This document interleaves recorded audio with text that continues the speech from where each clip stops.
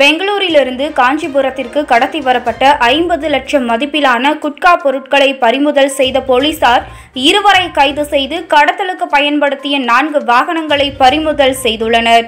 காஞ்சிபுரம் மாவட்டத்தில் அரசால் தடை விதிக்கப்பட்ட குட்கா பொருட்கள் விற்பனை செய்வோர் மீது கடும் நடவடிக்கை எடுத்திட காஞ்சிபுரம் மாவட்ட காவல் கண்காணிப்பாளர் சுதாகர் உத்தரவின் பெயரில் கடும் நடவடிக்கை மேற்கொள்ளப்பட்டு வருகிறது.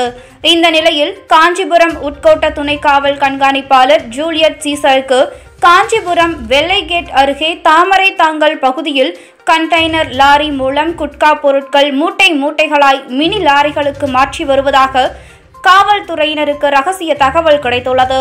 இதனையடுத்து சம்பவ இடத்திற்கு ஆய்வாளர் ராஜகோபால் உதவி ஆய்வாளர்கள் ராஜமாணிக்கம் கிருஷ்ணமூர்த்தி மற்றும் அவர்களது குழுவினர் அடங்கிய போலீசார் விரைந்து சென்றதை கண்ட லாரி ஓட்டுநர்கள் மற்றும் கடத்தல்காரர்கள் ஓட்டம் பிடித்துள்ளனர்.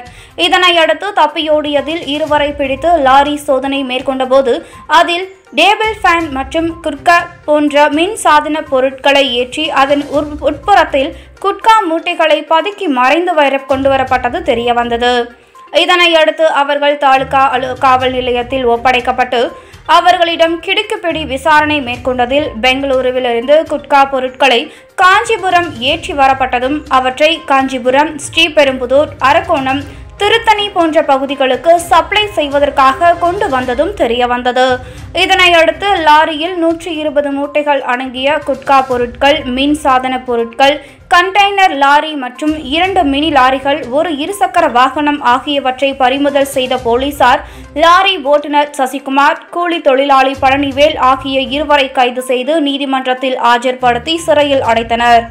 செய்தியாளர் தினேஷ். இது போன்று உங்களை சுற்றி நடக்கும் செய்திகளை நீங்கள் தெரிந்து கொள்ள சப்ஸ்கிரைப் செய்து பெல் ஐக்கானை கிளிக் செய்து எங்களோடு பயணியுங்கள். மறக்காமல் லைக் ஷேர் கமெண்ட் செய்யுங்கள்.